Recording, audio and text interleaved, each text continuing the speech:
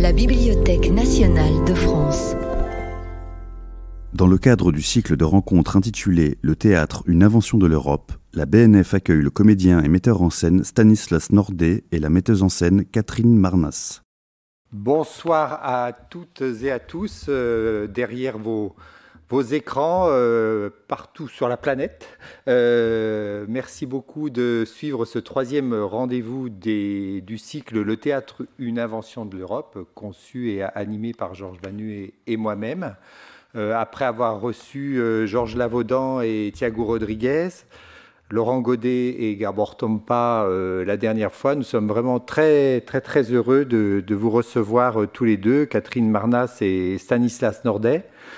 Pour ce rendez-vous, vous êtes venus euh, nous rejoindre ici à la Bibliothèque nationale de France, l'un de Strasbourg, l'autre de Bordeaux. voilà, comme quoi les voyages sont, sont quand même possibles et c'est très agréable de pouvoir converser et débattre en chair et en os.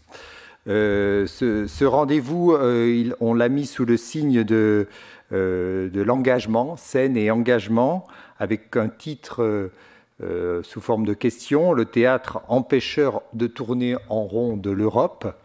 on verra que cette question du théâtre européen, elle ne se pose pas uniquement dans les frontières de l'Europe, mais que on se la pose en en pleine porosité avec euh, ce qui se passe soit en Orient, soit euh, peut-être au Mexique ou, euh, en, Amérique du Sud. On abordera la question des, auteurs contemporains, des écritures nouvelles et bien sûr de la place du théâtre dans la, dans la vie présente, si difficile qu'elle soit euh, pour les metteurs en scène, directeurs de lieux que vous êtes, pour les acteurs, euh, les techniciens, tous ceux qui travaillent dans le monde du théâtre aujourd'hui, euh, à l'arrêt, on l'espère pour, le moins de temps possible, mais, c'est difficile pour tous. alors, un, mot pour présenter nos, invités. Catherine, Catherine Marnas, vous êtes donc metteur en scène. Vous avez suivi les, vous avez été formé auprès d'Antoine Vitesse et de Georges Lavaudan, dont, on parlait tout de suite. Vous avez fondé une compagnie, la compagnie du Parnasse qui est à Marseille, si je ne me trompe pas. Vous avez été artiste associé à dans différents lieux, notamment à Gap, à Martigues. Et depuis 2014, vous dirigez euh, le Théâtre national de Bordeaux, Bordeaux-Aquitaine. Voilà, euh, vous êtes arrivés en même temps chacun à la, direction de, de, vos théâtres. Euh, et depuis, vous, vous, menez une, vous poursuivez votre, votre travail de metteur en scène puisque vous créez des, des nouveaux textes et puis vous invitez bien sûr des, des spectacles dans avec l'idée de, de, partager cette programmation avec un public euh, élargi et d'aller à, la conquête de, de, publics qui ne vont pas nécessairement euh, au théâtre. Vous avez quand même beaucoup consacré, on va y revenir, euh, votre votre temps à des auteurs euh, contemporains, que ce soit Serge Valetti, Pasolini, Coltès, qui est votre auteur fétiche. Oui, absolument. Olivier Pi, Copy, Max Frisch et, et, bien d'autres. Quelques incursions quand même vers les, vers les classiques vers, euh, vers Molière, plus récemment Musset, j'ai vu. Molière, J'ai jamais monté, non. Oh, j'avais vu un Don Juan. Euh, pardon, si, à Pékin. Oui, oui, oui, ah, pardon, pardon, Alors, c'est vrai, quand même, j'ai vu un Don Juan à Pékin, ambassadrice de Molière. Pardon, pardon. Mais bon, c'est parce que j'ai un peu un tropisme molièresque. On est à deux ans du 400e anniversaire de la naissance de Jean-Baptiste. Euh, voilà, et, donc ça me permet de, terminer en disant que votre travail, il est très implanté évidemment à, Bordeaux, mais euh, avec une grande ouverture euh, sur ce qui se passe ailleurs, et notamment ce qui se passe en Amérique du Sud, ce qui se passe au, Mexique, où vous avez noué des liens euh, très riches, dont vous nous parlerez sans doute. Et Georges, je te laisse présenter Stan. Moi, je pense qu'on ne va pas tomber dans le travers de la fameuse formule on ne présente plus Stan. Bah, je, pour moi, c'est un plaisir et une émotion parce que lorsqu'on est à côté d'un créateur qui est parvenu presque à, l'accomplissement de, de, de, sa recherche, mais on a été aussi présent dès le début, euh, je fais un tout petit peu une sorte de, retour dans ma propre biographie de spectateur qui a vu les, premiers spectacles euh, au théâtre Gérard Philippe de Pasolini, qui ont été pour moi euh, et pour, la, pour le monde du théâtre une, véritable révélation. Euh, on trouvait la, la, la, réponse à la question insoluble de comment mettre en scène Pasolini. ensuite, Stanislas Nordet avec Valérie Lang ont dirigé le théâtre, le théâtre Gérard Philippe, qui est devenu un, foyer d'activité, euh, un foyer polémique aussi. C'était pas, euh, pas gagné d'avance. Euh, comme on dit aussi, on a des amis qui ne vous aimaient pas, mais malgré cela, le théâtre, ce, foyer s'est imposé. et ce qu'on disait de Catherine, tu t'es Stanislas et Valérie ont travaillé beaucoup dans la direction des écritures contemporaines, euh, principalement. Euh, ensuite, euh, vous avez été invité par, Jean-Pierre Vincent au, théâtre Nanterre-Amandier que Jean-Pierre dirigeait. Jean-Pierre Vincent, dont on regrette vraiment la, disparition récente, en quelque sorte inattendue. On n'attend pas la mort, mais tout à fait inattendue, dont on pourra parler un peu. Et euh, ensuite, euh, euh, Stanislas Nordet a, mené une activité dans la, dans la direction des, écritures contemporaines les plus, les plus radicales, en faisant découvrir des, des auteurs comme Falk Richter, comme Martin Krimp, à première vue immontable. Euh, donc, euh, et je crois que le défi de, de, de Nordet consiste à trouver, à chercher une forme scénique pour des textes qui euh, apparemment sont rebelles, refusent cette réalisation scénique selon les codes habituels. Mais je dirais aussi que c'est peut-être important de le dire que Stanislas Nordet euh, euh, est aussi un acteur, euh, est un acteur que, que nous avons pu que j'ai pu voir, je dis tout le temps non, euh, que j'ai pu voir euh, dans quelques spectacles admirables, euh, dans les spectacles mis en scène par Anatoly Vassiliev, et récemment, dans, pour moi c'était vraiment une révélation, c'était extraordinaire comme prestation de jeu, dans Partage de Midi, où finalement j'avais le sentiment d'un acteur accompli dans la langue de dans la langue de Claudel, dans ce spectacle signé par Éric Vignier. Par ailleurs, et en même temps, Stanislas Nordet dirige le Théâtre national de Strasbourg, euh, l'école euh, du Théâtre national de Strasbourg, école euh, réputée. Et le problème peut-être qui, qui, se pose avec Strasbourg, c'est toujours comment on se situe à la frontière franco-allemande. il y a eu les metteurs en scène qui n'ont fait que du français et ils ont vidé les salles parce qu'il n'y avait que du théâtre baroque français. Euh, il y a eu d'autres qui ont vu être plus allemands que les Allemands, donc ils n'ont fait que de l'allemand. Donc euh, l'ouverture du, répertoire du Théâtre national de Strasbourg est un, est un exemple, je crois, aujourd'hui pour la gestion d'une entreprise publique. Et je rajouterai, parce que ça me concerne aussi, que euh, dans le au Théâtre national de Strasbourg, tu, tu es le rédacteur en chef, tu publies une revue extrêmement, extrêmement passionnante sur des auteurs contemporains, euh, avec des prises de parole euh, euh, très actives. et cette revue s'appelle, Parage et qui est un instrument de, de, réflexion pour les gens qui veulent découvrir ces, ces, ces auteurs. Donc peut-être une première question, c'est comment quand on est professeur, on sait que euh, les étudiants changent, qu'il y a des générations. Et donc c'est pour ça qu'on ose parfois dire des choses qu'on a déjà dites. Euh, donc une des chose qui m'a frappé, c'est la fameuse histoire euh, qui est pour moi symptomatique. Euh, étudiant, élève au conservatoire, euh, tu entres dans, la librairie théâtrale Place Marivaux, tu ouvres un volume de Pasolini et tu dis c'est ce que je cherche. même maintenant, je, je suis ému par ce sentiment presque claudélien, si on veut dire, de la révélation.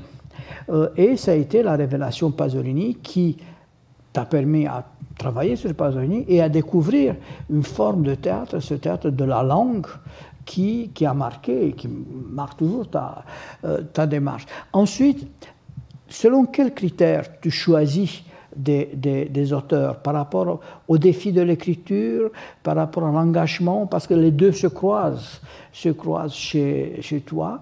Et euh, on a le sentiment qu'il y a d'un côté le, la position du, metteur en scène qui a des rencontres, euh, comme des rencontres amoureuses, fortuites et passagères, et des fidélités et qu'il euh, y a la question des défis. Et la deuxième question que je veux te poser, c'est cette question de, de la rencontre euh, qui se poursuit, de la fidélité.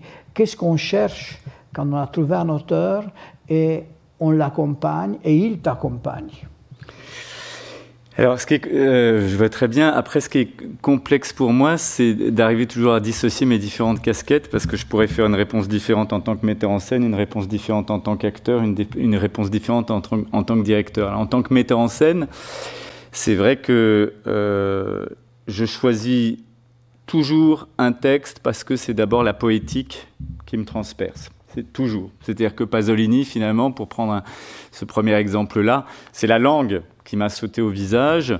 Euh, après, il s'est trouvé que je tombais sur Pasolini et que Pasolini, c'est cette espèce d'alchimie extraordinaire entre le poétique et le politique, hein, très rare, et qui là, ça nous renvoie à notre sujet, qui, parce que tout Pasolini est construit euh, en, regard avec la tragédie grecque, avec les dialogues de Platon, c'est vraiment comme une réponse. Hein. Pilade de Pasolini étant même la, suite exacte de l'Orestie.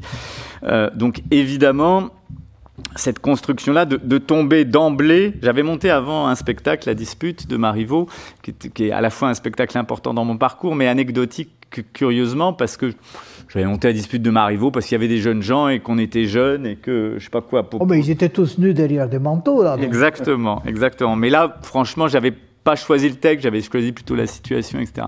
Et à partir de Pasolini, ce qui se passe, c'est que je sens finalement je pense que c'est à ce moment-là que je comprends que le théâtre est quelque chose d'important, de nécessaire, non seulement pour moi, mais pour ceux à qui je vais le montrer, c'est-à-dire les spectateurs. Parallèlement, c'est quand même la rencontre, d'une part avec Jean-Pierre Vincent, qui me raconte toute l'histoire du théâtre public en France, puisque c'était mon professeur au conservatoire. Et donc c'est un autre bouleversement, on va dire, euh, contemporain, hein, exactement en même temps. Il y a la rencontre avec Pasolini et la rencontre avec le théâtre public en France par euh, la façon dont Jean-Pierre me, me raconte notamment son expérience au TNS de Strasbourg, ce qui aussi dit pourquoi j'y suis maintenant. Et puis parallèlement, et ce n'est pas rien, il y a la rencontre aussi avec Valérie Lang, qui est la rencontre avec une autre histoire du théâtre, puisque euh, même si moi à l'époque je, je, je, je, voyais très peu son père, mais Valérie euh, était porteuse finalement de toute l'histoire de Jacques au Théâtre National de Chaillot, euh, auprès de Mitterrand, etc. Donc c'est ces trois rencontres. Du, du Festival de Nancy. Et Festival de Nancy, bien sûr.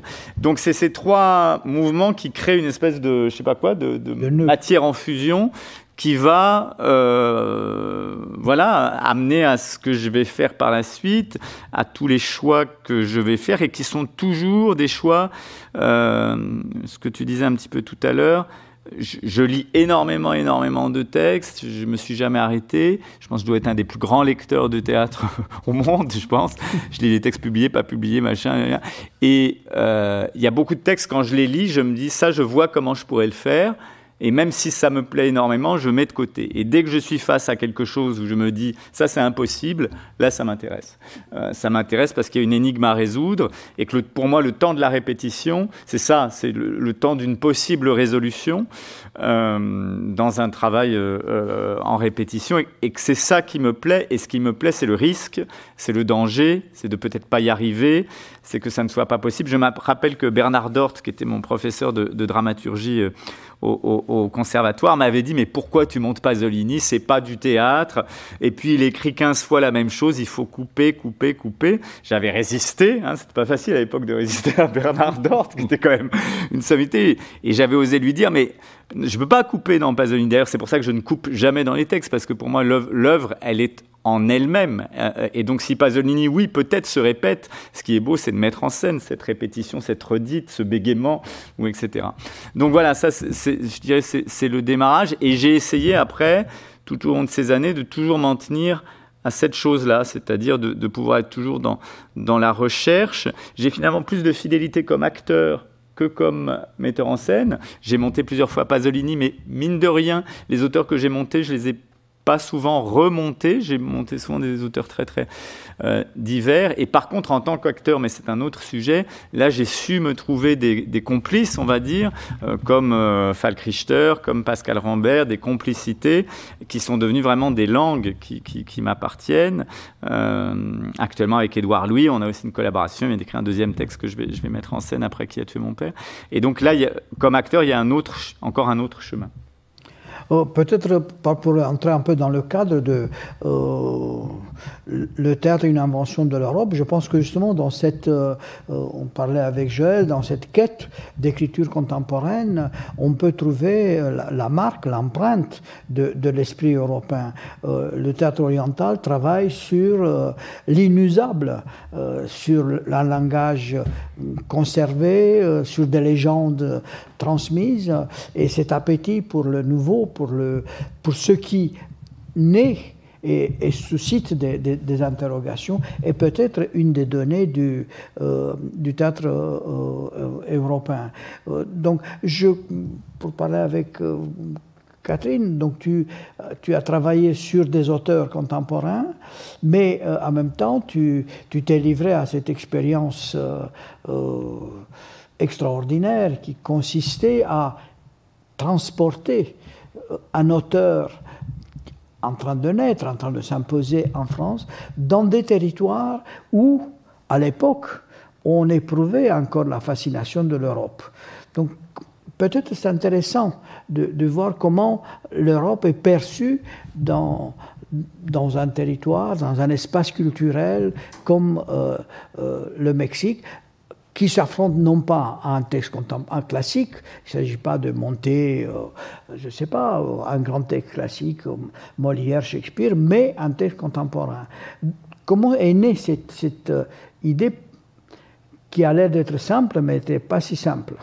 Non, cette idée, elle est née de, euh, mon amour pour l'écriture de Bernard-Marie Coltès. Parce que là aussi, je pense que ça arrive pas 36 fois dans la vie de, de quelqu'un, d'un metteur en scène, de se dire euh, je me souviens très bien d'avoir lu par-dessus l'épaule d'une secrétaire quand j'étais étudiante et que je travaillais au TNP à Villeurbanne pour déchirer les tickets le soir, d'avoir lu par-dessus l'épaule euh, de quelqu'un qui était en train de taper un texte. Et c'était euh, Roberto Zucco. Et je suis tombée, alors c'est quand même incroyable, c'est-à-dire que je suis tombée sur la scène centrale de Zuko. Centrale, elle l'est absolument, puisque c'est la huitième scène et qu'il y en a quinze. Et puis que c'est la scène clé qui s'appelle Juste avant de mourir. Et j'ai lu cette scène et j'ai eu quelque chose qu'on pourrait rapprocher du sentiment amoureux, c'est-à-dire une chose de reconnaissance. Se dire si j'avais le don d'écriture, J'aurais écrit ça, exactement. Donc de cet amour euh, très très grand est née aussi la passion de vouloir le, j'allais dire, le transporter partout. Il se trouve que j'avais découvert le Mexique peu de temps avant dans des circonstances assez tragiques et que le Mexique m'a sauvé la vie. Et de l'amour que j'ai eu pour le Mexique, de mon amour pour Coltès, je me suis dit c'est trop bête parce qu'au Mexique il y avait quand même dans l'écriture quelque chose qui hum, qui était un peu influencé par euh, l'école américaine, donc par quelque chose qui était plutôt réaliste, alors que c'est un pays qui l'est tellement peu que je me disais c'est quand même bête qu'il n'utilise pas cette fantaisie de pas se dire que ça peut susciter des tas d'écritures. Et puis bon voilà, une espèce de fétichisme presque d'aller transporter Coltès là-bas, puisque Coltès lui-même euh, connaissait le Mexique, l'aimait, qu'il euh, y avait un peu vécu. Et donc voilà, j'ai eu l'idée d'aller euh, transporter Roberto Zucco là-bas, qui a été une magnifique expérience. Je regretterais toujours que Coltès l'ait pas vu puisqu'il était déjà mort hein, quand je l'ai monté, parce que je crois qu'il aurait été très très séduit par euh, une sorte de hum, premier degré du public, qui a fait par exemple que dans la scène de la prise d'otage, hein, qui est tout à fait comique, où on rit, on est en détente comme ça en disant bah, Vous qui avez du courage, montrez-nous que vous avez une couille, même toute petite, même rabougrie. Puis à la fin, paf, ça se finit sur la mort du gamin. Et là, vous avez une salle entière, mais quand je dis entière, c'est vraiment entière, qui se met à crier Non je me dis, voilà, il y a une chose comme ça que je pense que Coltès aurait aimé euh, susciter. Donc, moi, la découverte, c'est marrant parce que le Mexique est devenu maintenant mon deuxième pays. J'y travaille depuis 27 ans, mais j'ai découvert là-bas, et c'est une notion qui va nous ramener peut-être aussi, qui va se rapprocher de notre thème sur l'engagement, c'est que j'ai découvert en même temps, si vous voulez, cette entité théâtre européen, parce que quand on est dedans et qu'on a le nez euh, au milieu, c'est pas évident. Il y a un théâtre allemand, il y a un théâtre. Euh, enfin, on est surtout tourné d'ailleurs euh, vers le nord de l'Europe. Maintenant, avec Thiago que vous avez invité, avec Emma Dante, ça s'ouvre un petit peu, mais quand même, on a toujours eu un tropisme porté sur le nord. Et j'ai découvert donc cette entité théâtre européen au Mexique, de loin, avec une entité que j'ai découvert aussi. Vous allez me dire peut-être que c'était évident et que j'étais la seule à ne pas le voir mais on n'emploie plus l'expression de tiers-monde maintenant. Évidemment, ce n'est pas politiquement correct. On dit euh, pays émergent, etc. Par contre, combien de fois je me suis fait renvoyer une image de premier monde en me disant Toi, tu ne peux pas comprendre, tu es du premier monde. Ah, mais tu vas pas pouvoir t'adapter. Tu es du premier monde. Et ça a été mais un vrai choc pour moi, parce que ça, voulait dire quelque chose. C'est-à-dire que ça voulait dire effectivement qu'il y avait une hiérarchie qui se posait d'emblée, que j'ai découvert aussi des hiérarchies euh, toutes bêtes. Je suis blonde. Je suis forcément intelligente. C'est c'est dingue, mais euh, européenne avec la peau claire égale intelligence, sans avoir de preuves à faire, ce qui est très vexant. Euh, et donc, je me suis rendu compte aussi de ce tropisme qu'il y avait sur le théâtre européen, vraiment très fort, et qui est tout sauf évident parce que géographiquement, le Mexique est beaucoup beaucoup plus près des États-Unis, hein, comme disait Benito Juárez. Pauvre Mexique, si loin de Dieu, si près des États-Unis. Et que par exemple, en cinéma, il est évident que dès qu'on fait une carrière, euh, dès qu'on est remarqué, enfin tout est tourné vers Hollywood. Euh, il y a qu'à voir Iñárritu dès le deuxième film. Paf, c'est Hollywood. En théâtre, pas du tout. En théâtre, c'est vraiment le théâtre européen. Alors, pour le coup, là, euh, ils font peu à l'échelle d'un pays, si vous voulez, euh, comme le Mexique. L'Europe, c'est l'Europe. C'est-à-dire qu'un scénographe, par exemple, il va se dire, je veux faire une école de scénographie, est-ce que je fais Prague ou est-ce que je fais Barcelone? Il se dit pas quel pays je fais, parce que pour lui, c'est très très près.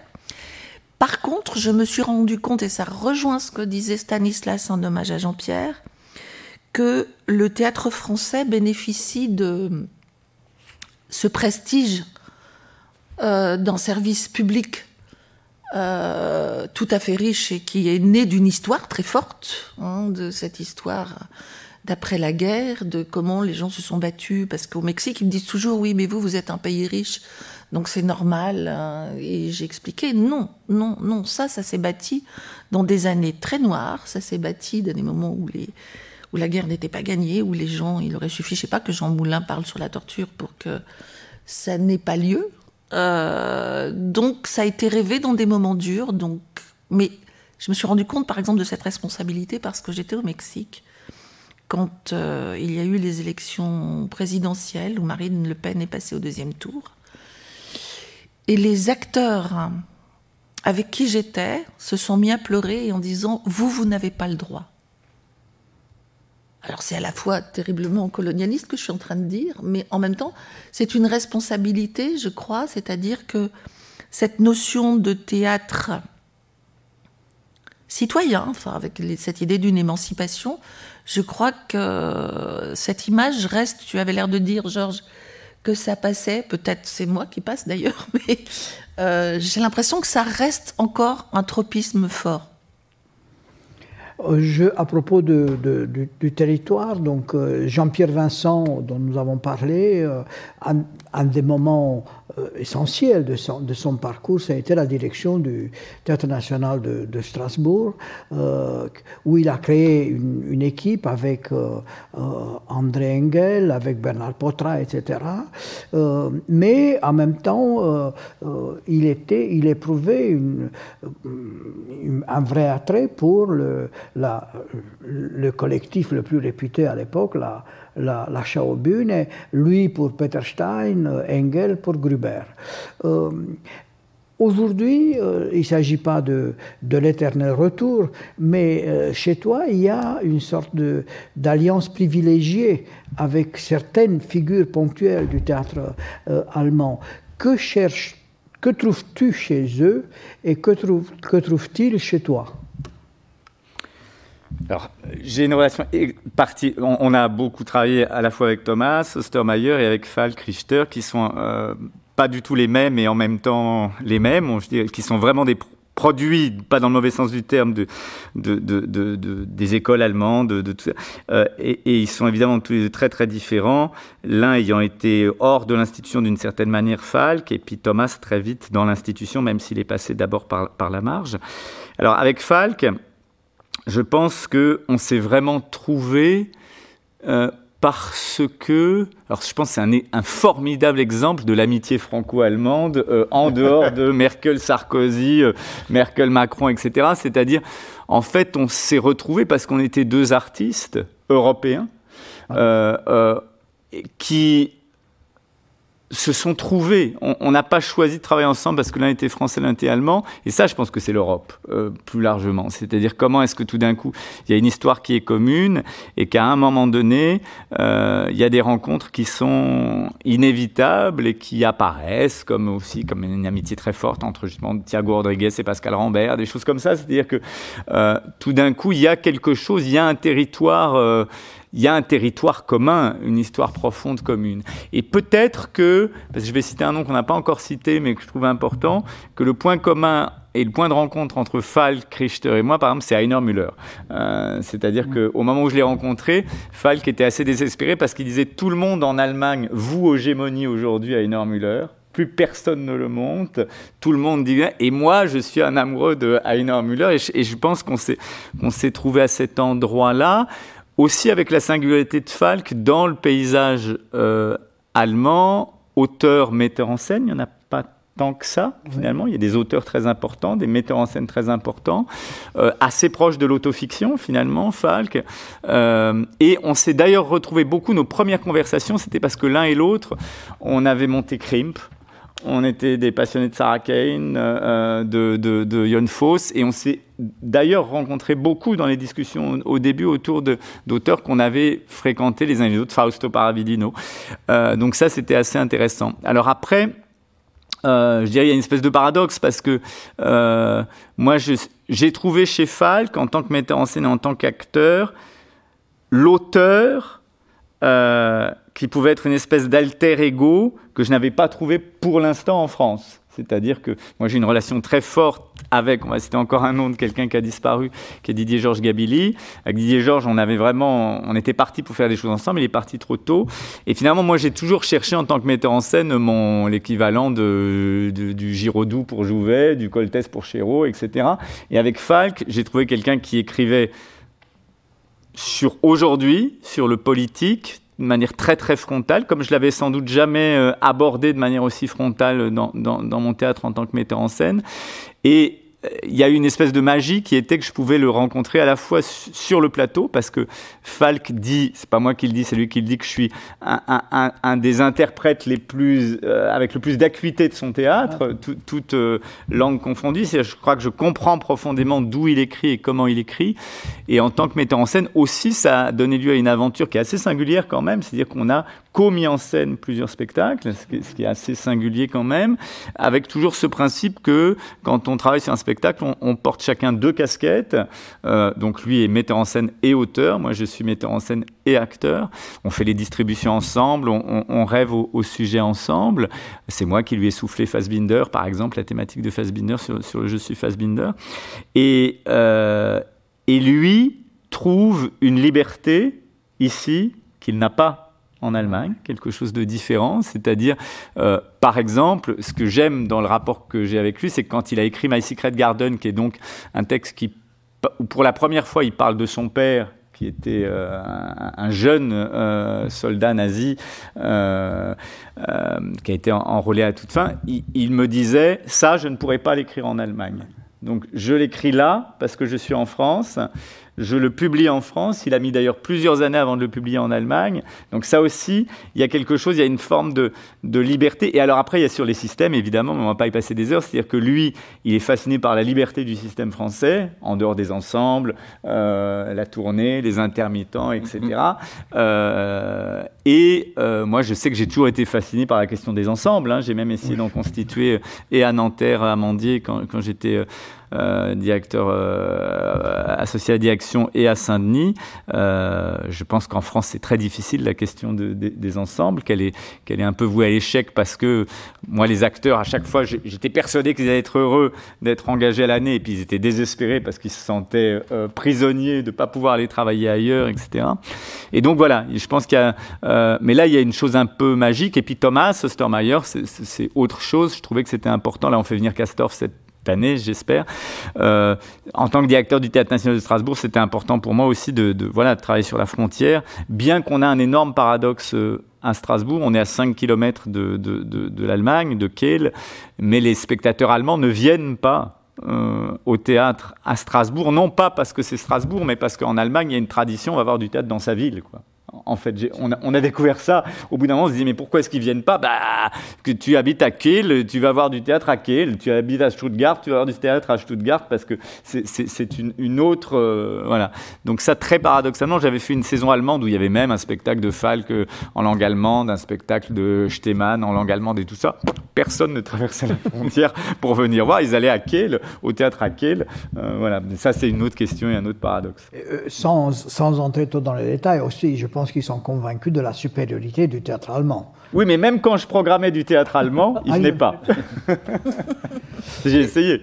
Richter, il nous ramène aussi à ce qu'on disait tout à l'heure sur l'engagement politique, parce que et, sur l'Europe, puisqu'il a créé il n'y a pas si longtemps un spectacle qui s'appelait I Am Europe, Europe nous. voilà, euh, qui était euh, aussi une volonté d'afficher le mélange des des, provenances, des parcours, des identités euh, européennes. Euh, ça, cette, euh, oui, cette dimension d'engagement, même indirect, enfin, même en dehors d'un théâtre vraiment militant, est-ce que c'est quelque chose qui, pour l'un comme pour l'autre, est, important quand on fait une programmation où on, essaye de s'en, donne pas trop l'afficher? C'est toujours la question de euh, comment on affiche c'est où euh, Pasolini avec euh, petits oiseaux, grands oiseaux, par exemple, que, voilà, que tu as montré, monté Catherine. Alors, ça dépend ce qu'on ce qu'on appelle afficher, parce que quand on parle de Pasolini, par exemple, et quand on parle de son engagement, Dieu sait s'il est certain, avéré, et pas à remettre en question, mais ça passe par la poésie, donc il y a quelque chose qui est. Mais c'est vrai que vous avez raison. Quand on dit, quand il y a Pasolini dans une plaquette, on sait quand même que on ne va pas, on va pas voir un divertissement.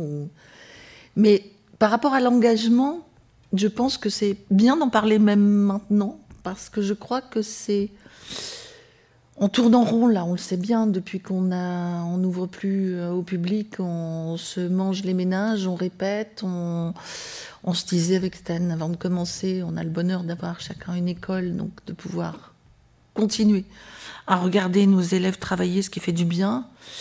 Mais je crois que dans cette période de, de doute, on demande beaucoup l'ouverture, ce qui est justifié. Enfin, je veux dire évidemment qu'on attend ça.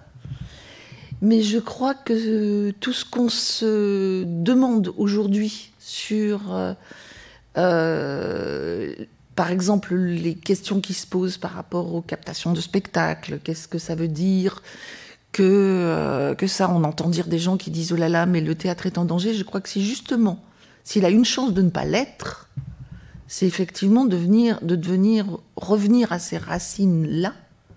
Quelquefois, on l'oublie, hein, peut-être, on, on l'oublie un peu par paresse, par, je sais pas, par euh, commodité, mais en tout cas, revenir à ces racines-là qui est de d'interroger ensemble. Enfin, quand Pasolini parle, effectivement, tu citais, Georges, la fameuse phrase Nous sommes peu nombreux, mais en nous il y a Athènes.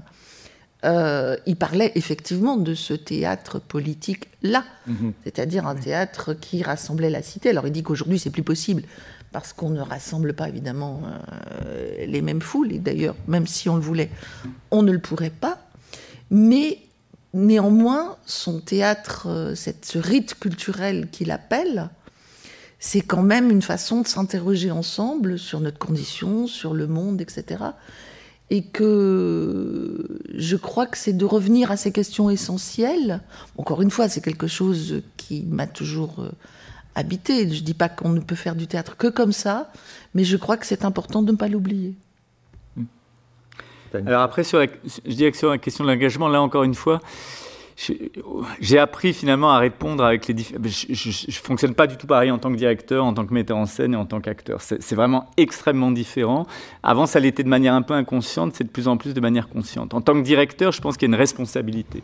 Donc là, de manière très consciente, oui, je choisis, par exemple, quand je suis arrivé au Théâtre national de Strasbourg, j'ai choisi de privilégier le répertoire contemporain à 90%, grande salle, petite salle, etc. Euh, les œuvres contemporaines, euh, ça c'est un vrai choix.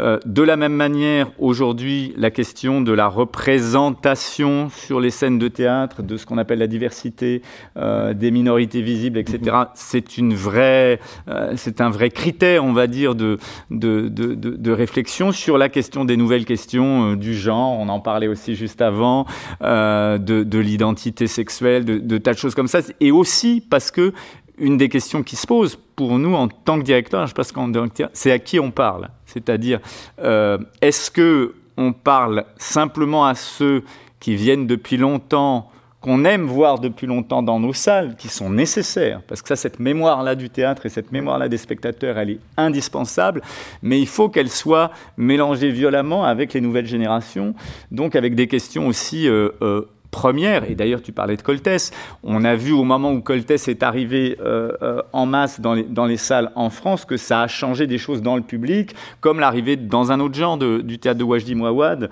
aussi a été extrêmement importante parce que tout d'un coup elle drainait d'autres générations, d'autres questions, etc. Donc en tant que directeur, ces questions d'engagement pour moi elles sont importantes. Euh, j'ai jamais aimé, la, jamais monté Brecht, hein, donc je, je, suis très très contre la question du théâtre didactique. Pour moi, euh, c'est presque un contresens. Le théâtre didactique, le théâtre, il n'est pas là pour euh, apprendre, il est là pour faire ressentir, pour faire douter, pour faire. Euh, il est dissensuel, pas consensuel. Il doit surtout jamais dire au public ce qu'il doit penser. Brecht, ça n'est pas seulement ça, hein, mais euh, bien sûr. C'est pas ça. Non, bien sûr, bien sûr. Hein, c'est pour ça que je. je, je, je ce qui est intéressant par rapport à ce que tu disais de Müller, c'est que Brecht, après avoir été au sommet, il passe maintenant pas dans le purgatoire, carrément dans l'enfer. C'est le cas de, de Reinhard Müller. Excuse-moi, je t'interromps. Mais moi, j'aime le, le, Brecht que je préfère, c'est le premier, c'est le Brecht un baldien, quoi. C'est Bâle, c'est dans la jungle des villes, etc. Bon, bref, c'est un autre débat. Euh, et sur la question de l'engagement, en tant que metteur en scène, jamais je me suis posé la question de monter un texte parce que j'avais envie de faire entendre quelque chose aux spectateurs, on va dire politiquement. Mhm. C'est toujours la poésie qui a. Et pour moi, porter la poésie sur un plateau au plus haut, c'est politique. Parce que euh, aujourd'hui, euh, on a une absence de poésie dans, notre monde qui fait que tout d'un coup, venir poser du René Char sur une scène de théâtre, pour moi, c'est politique autant que poétique. Et en tant qu'acteur, ça, c'est très étrange, je dirais, parce que quand on est acteur et qu'on dit oui à un texte, on est obligé de le défendre.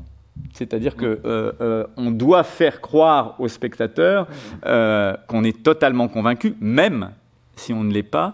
Et j'ai une expérience comme ça très étrange. Euh, le premier spectacle que, que j'ai fait au Théâtre National de Strasbourg, c'était donc euh, euh, Je suis Fassbinder. et donc, je ne savais pas ce que Falk allait écrire, puisque c'était une commande. Et donc, le spectacle se terminait par un grand monologue où je prenais la parole, où je m'adressais au public. Et où finalement, comme c'était le premier spectacle que je présentais en tant que directeur au Théâtre National de Strasbourg, les gens pensaient que c'était mon manifeste à moi Stanislas Nordet, directeur, pensait même que j'avais écrit ce texte. Or, c'était un texte euh, assez politique euh, dans lequel j'avais énormément de désaccords avec Falk. Mais tout mon boulot, c'était de faire croire que c'était ma conviction. Et presque plus didactique que Brecht. Ah ouais, il n'est pas didactique. Il est, il est, il est, euh, il, veut rentrer des choses dans la tête des gens. Il est au-delà de ça encore. Il, est, et du coup, non, je pense que c'est des vraies questions. On peut pas forcer les gens à s'engager. Hein, c'est-à-dire que. Euh, et puis j'ai toujours cru aussi, moi je fais partie des gens. Euh, je m'engueule souvent avec euh, mes copains là-dessus, qui pensent que dans nos démocraties européennes, le, le c'est pas au théâtre qu'on change le monde, c'est dans la rue éventuellement, mais qu'en tout cas, le théâtre, il est là pour aider les gens à être en veille, à être des veilleurs, à pas s'endormir, à être vigilants. Mais je, je ne pense pas, en tout cas, qu'en France, une pièce de théâtre puisse changer les spectateurs. Et, si je dis ça, c'est parce que j'espère que c'est autre chose qui peut faire changer les spectateurs. Je pense par contre que le théâtre, il est là pour, pour empêcher les gens de s'endormir, pour, pour, les, pour les, comme un, on parlait de l'Europe, comme un temps qui vous pique et qui tout le temps vous dit continue à penser, continue à rêver, etc. Mais par exemple, euh, je prends un exemple très simple. Moi, dans ma vie, à moi, euh, en dehors, j'ai quelqu'un qui a toujours été très très engagé sur la question des migrants, euh, etc. Jamais j'aurais eu l'idée de monter une pièce qui parle des migrants, parce que pour moi, pour faire bouger les choses, c'est moi en y allant dehors. C'est pas de, de, faire une pièce sur les migrants qui fait bouger les choses. Bah, euh, c'est cette idée qu'il y a la, différence entre le théâtre dit didactique, qui, qui communique un, message sans ambiguïté, euh, qui était parfois euh, très important dans les pays latino-américains, dans Chavez, etc. mais il y a aussi un théâtre débat c'est que la, la, question du débat, ça suppose qu'on prend en compte les, les, arguments de la partie adverse, euh, qu'il y a une dialectique et non pas. Donc, mais je pense aussi que euh, cette différence est Ferdinand lorsqu'on tient compte des sociétés, ce que tu dis.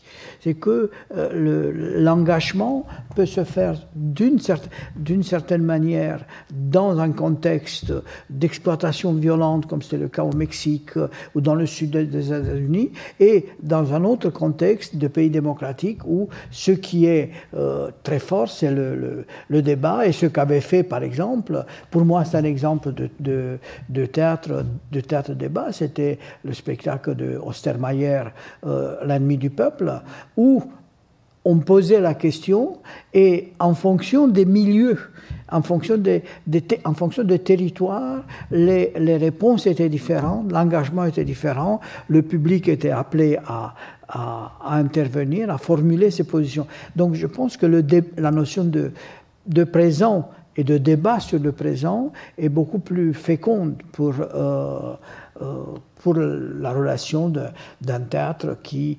s'attaque aux écritures contemporaines. Mais une question qu'on peut vous poser, c'est euh,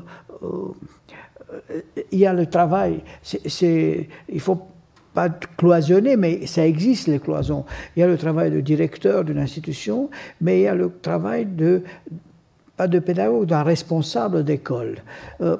Est-ce que entre les deux, entre le, la posture du directeur et la posture du, du, euh, directeur de l'école, euh, c'est comme les vases communicants, euh, vous les séparez C'est une belle question. Hmm. Elle est complexe. Hmm, pour moi, disons qu'il y a quelque chose qui, qui est un moment particulier de ma vie. C'est-à-dire que euh, quand j'étais en compagnie, j'avais une compagnie, ça se passait bien. Euh. donc le fait de vouloir à la fois euh, prendre la direction d'un lieu et d'un lieu avec une école, il y avait dans ma tête très très clairement cette idée de transmission. C'est-à-dire l'idée, c'est mon dernier, enfin c'est, je suis pas morte, mais je veux dire par là, c'était très clair dans ma tête que ce mandat-là, il allait me servir à euh, mettre toutes les frustrations que j'avais pu avoir dans les différentes écoles dans lesquelles j'ai enseigné, et puis transmettre à des jeunes, parce que je sentais qu'il y avait quelquefois un désamour des jeunes générations par rapport aux institutions, et je me disais c'est dommage. C'est-à-dire qu'il faudrait essayer de voir comment on peut les rendre peut-être plus mobiles, peut-être plus, plus souples, mais en tout cas ne pas les bouder parce que ce sont des vrais beaux outils.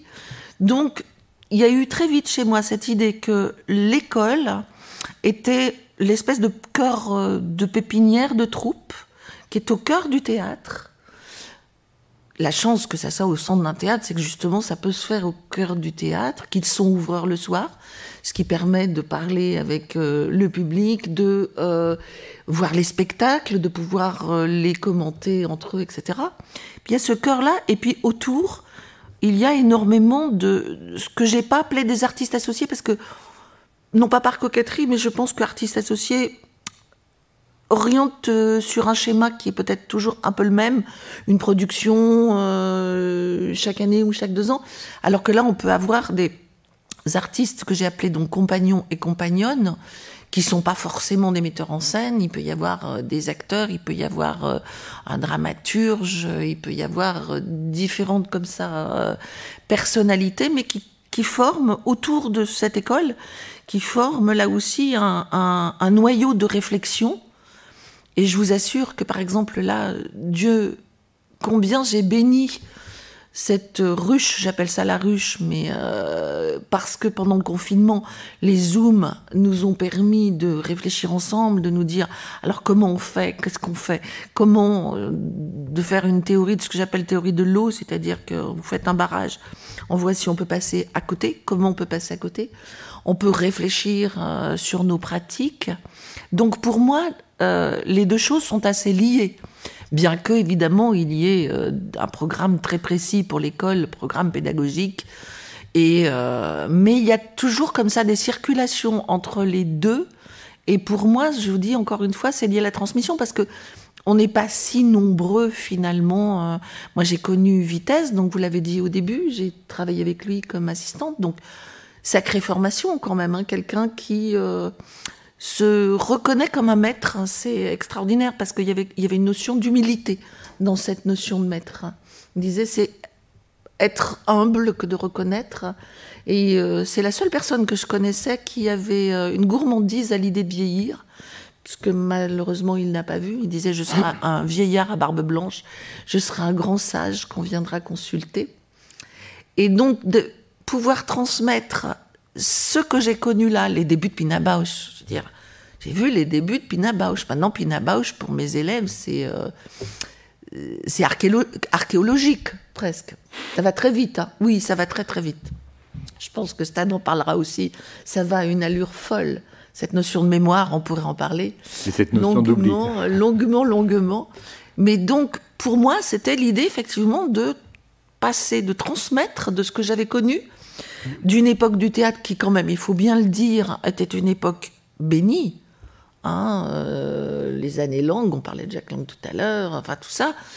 Et quelque chose qui est sans doute un peu plus dur maintenant, qui est sans doute beaucoup plus dur maintenant, mais en tout cas, moi, ce que je transmets ou ce que j'essaye de transmettre, que ce soit aux élèves de l'école, que ce soit aux compagnies, compagnons, c'est effectivement que quand on a 20 ans et quelques, tout est ouvert et que de toute façon, euh, à eux, à eux maintenant le futur, et j'essaye en tout cas de leur donner un appétit euh, absolu. Alors c'est très paradoxal de pouvoir. Moi j'ai une expérience un tout petit peu différente de la tienne sur, sur on va dire les écoles, puisque j'ai dirigé une école, l'école du Théâtre national de Bretagne pendant 12 ans, euh, en n'étant pas directeur du théâtre donc en étant complètement libre en tant que pédagogue, puisque François Le Pilouer me laissait une, liberté totale et même une liberté euh, transgressive. Enfin, je pouvais, je pouvais, euh, je pouvais aller contre le théâtre. Et là, euh, depuis que je suis directeur du TNS et directeur de l'école du TNS, je suis très souvent pris dans un paradoxe, parce que pour moi, une école et d'ailleurs, il devrait y avoir une école dans tous les théâtres. Hein. parce que qu'est-ce que c'est qui est fort dans une école? C'est qu'on a 52 jeunes artistes, moi j'ai 52 jeunes gens euh, euh, à, Strasbourg, qui sont dans l'institution et qui sans cesse mettent en question l'institution. Ce qui est formidable. C'est-à-dire, euh, que sans cesse disent pourquoi on ne peut pas faire ça? On pourrait faire ça. Pourquoi tu nous interdis de faire ça? Pourquoi l'institution fait que ça n'est pas possible, etc. Tout ça. Et par exemple, je ne devrais pas le dire, je vais me faire engueuler par euh, mon administrateur, mais en ce moment, par exemple, le paradoxe, en tant que directeur du TNS, je ne peux pas entendre que quand ils sortent, euh, les étudiants ils font des fêtes clandestines chez eux. En tant que directeur de l'école, ou profondément en moi, je suis ravi qu'ils passent des fêtes clandestines chez eux, qui vivent, qui continuent à vivre. Mais ça, je ne peux pas le dire en tant que directeur du TNS, surtout pas. Et d'ailleurs, je ne l'ai pas dit. Euh, mais ça, par exemple, c'est un exemple parmi d'autres. C'est-à-dire que par définition, moi, le premier truc que je dis, parce que l'autre question aussi, c'est comment on se pose en tant qu'artiste, qu'est-ce qu'on transmet?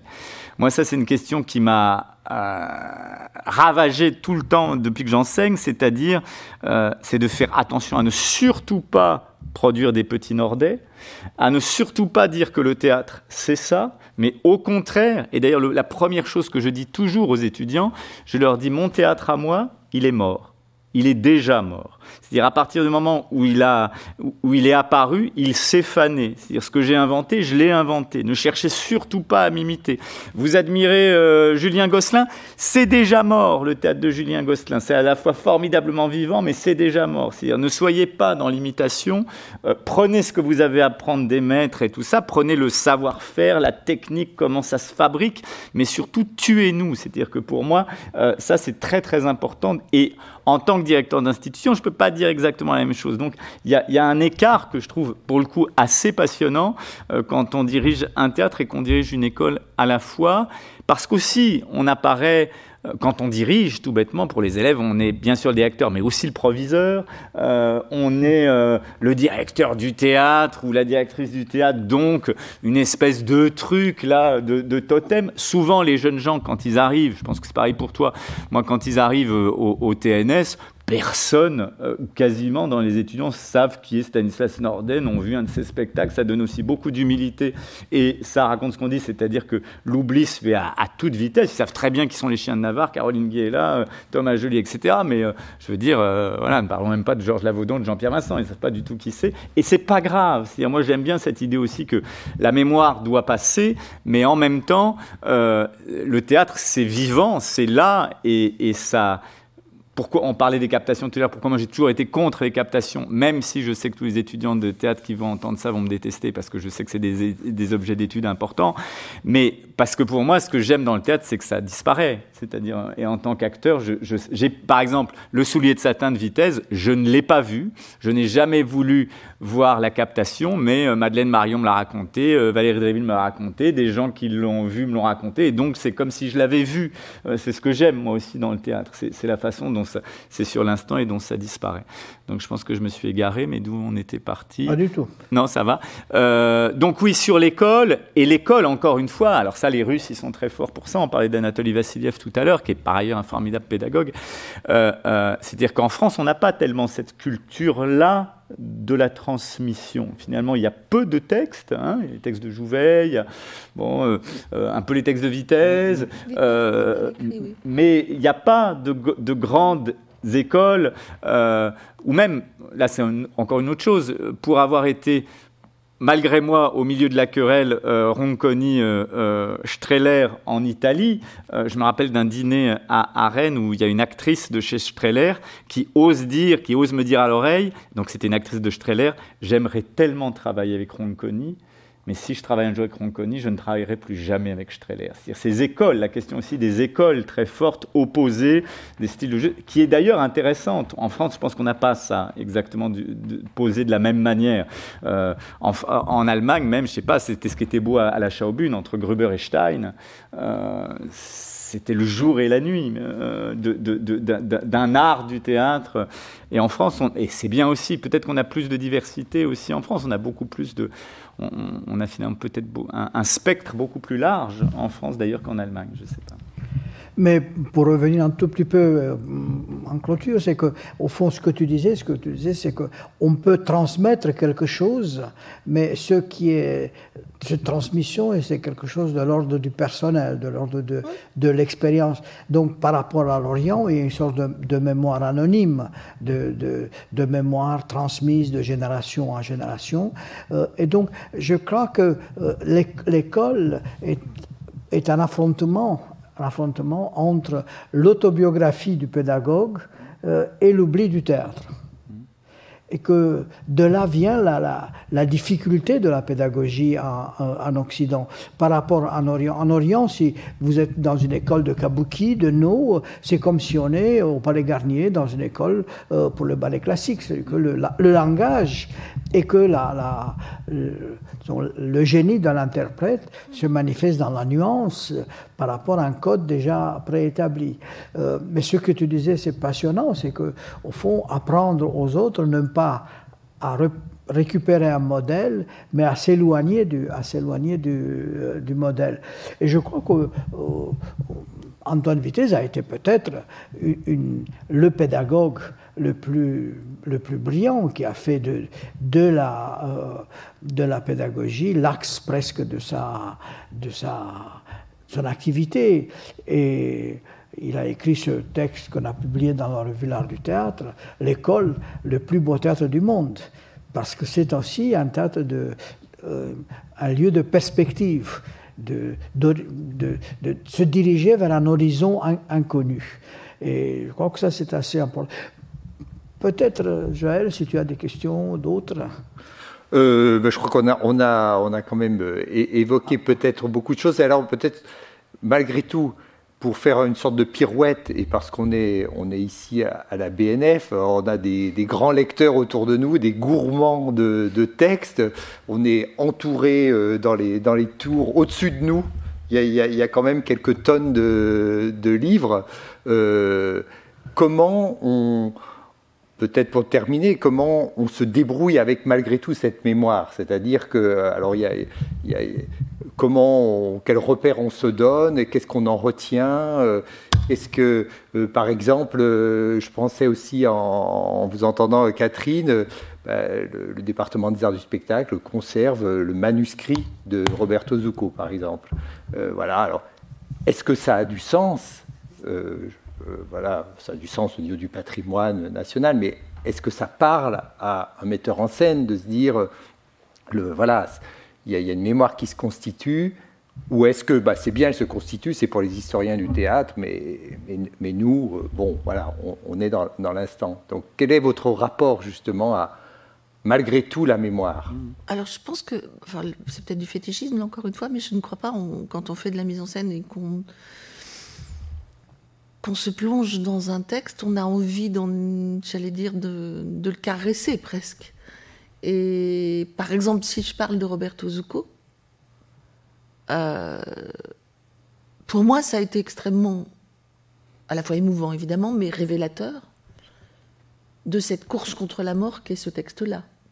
Mhm. C'est-à-dire que quand on voit l'écriture, il était très fatigué hein, quand il a écrit, il était très malade. Hein, j'ai su après d'ailleurs qu'il avait un compagnon mexicain à l'époque, qui l'aidait même quelquefois à tenir le stylo. Mais on voit cette course contre la mort dans l'écriture même. Mhm. Et du coup, si vous voulez, il y avait une espèce de fuite en avant dans le spectacle qui, peut-être, j'allais dire que je l'aurais peut-être perçu sans ça, mais qui était une vraie, pour moi, je sais pas comment dire, une, une vraie sécurité ou tranquillité.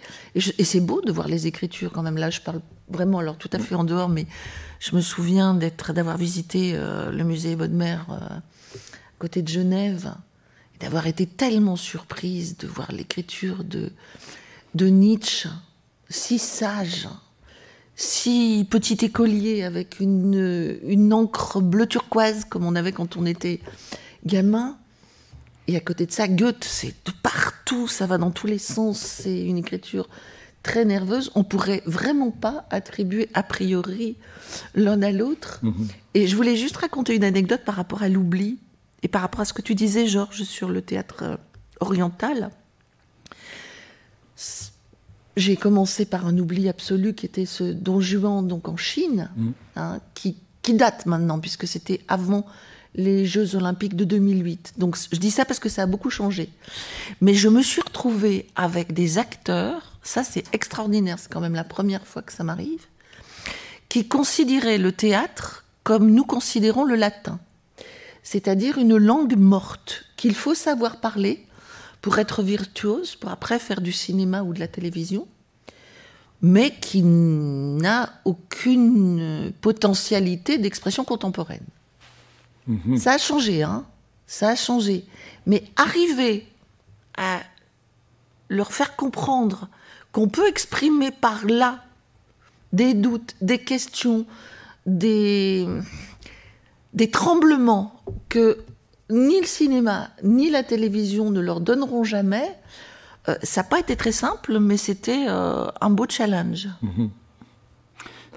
Sur la mémoire, alors autant pour moi la mémoire des mises en scène. Moi par exemple, je fais partie des gens, je m'en contrefous de comment Stanislavski a mis en scène la cerisée? Je trouve, je suis super content qu'il y ait des gens pour qui ce soit important, mais ça, l'art, parce que pour moi, euh, l'art de la mise en scène est un art mineur. Donc un art, on s'en fout, ça passe, ça bouge, ça se transforme, etc. Par contre, euh, euh, la question des manuscrits, euh, moi, je me souviens parler de deux choses qui ont été très importantes pour moi. Euh, une plus anecdotique et une importante, c'est quand j'ai monté par les villages de Peter que euh, peu par hasard, je vais me balader. Moi, j'aime bien euh, voilà, aller regarder quelles ont été les premières versions des textes, qu'est-ce que l'auteur a coupé, euh, qu'est-ce qu'il a rajouté en dernière minute, qu'est-ce que l'éditeur lui a dit de couper, qu'est-ce que machin, etc. Et donc, je tombe, il y a un site, euh, Peter Hand, que je sais pas quoi, .fr Autriche, je sais pas quoi, dans lequel il y avait la première version de, de, et je trouve ça extraordinaire. La première version donc de, de Par les villages qui n'était pas traduite, hein, que j'ai fait traduire pour les répétitions, qui est donc son premier jet où Nova ne s'appelle pas Nova, mais Béatrice, donc là on comprend tout le truc avec Dante, euh, etc. Et où tout d'un coup la pièce est assez boursouflée, mauvaise, et où on voit, après tout ce qu'il a coupé, tout ce qu'il a réduit, et comment ça devient un chef-d'œuvre, quoi. Euh, ça, pour moi, euh, c'est très important dans mon travail et de metteur en scène et d'acteur d'avoir la, l'histoire, la, couche euh, archéologique finalement. Je me rappelle que j'avais monté, quand j'avais monté La puce à l'oreille dans un autre genre, de découvrir qu'il y avait deux scènes coupées, qui étaient des scènes assez importantes, qu'on n'a pas réintégrées, hein, mais de savoir qu'elles existent. Ou même quand je monte Incendie de Wajdi Mouawad, alors lui c'est un auteur vivant, et que je lui dis tu as des petites choses ça qui, et qui me donnent un tiers en plus de choses qu'il a écrites, euh, qui, ont été écrites pour les acteurs qui ont été en répétition et tout ça, ça pour moi c'est très très précieux. C'est-à-dire cette mémoire-là euh, euh, de, des différentes strates de mouvements. là je suis en train de travailler sur, sur un texte de Claudine Gallia au bord. Évidemment, ce qui m'a aidé, c'est qu'elle m'a livré les quelques pages de son journal intime au moment où elle écrit au bord. Euh, donc je peux voir euh, qu'est-ce qu'elle lisait, qu'est-ce qu'elle écoutait, euh, qu'est-ce qui était en résonance, etc. Donc ça, pour moi, ça a une valeur immense. Mais dans, dans la suite de ce que je disais, que pour moi, une œuvre que je montre, c'est une œuvre à étudier. Donc, à partir, par évidence, l'étude, c'est aller regarder les couches, les différentes mmh. couches, et, et, chose que le public, auquel le public n'aura pas d'accès, parce que c'est un secret. Quand je monte par les villages, personne ne sait que Nova avant s'appelait Béatrice, mais nous, on le sait. L'actrice qui joue Nova le sait. Euh, donc, il y a quelque chose qui advient. Merci beaucoup. Euh, le, temps nous, nous, est compté et donc euh, il est temps de, de, clore. Merci mille fois Catherine Marnas, merci Stanislas Nordet euh, d'être d'être venu jusqu'à nous et d'avoir partagé avec nous ce, ce, ce, moment de débat. nous nous retrouverons le 9 mars pour le dernier débat du cycle qui s'intitule L'Europe, un théâtre en partage, répertoire d'hier et d'aujourd'hui avec deux invités qui sont Stéphane Braunschweig et Célipote. À bientôt. Vous venez d'écouter un podcast de la Bibliothèque nationale de France. Retrouvez les conférences, rencontres et créations de la BNF sur toutes les plateformes de podcast ainsi que sur le site bnf.fr.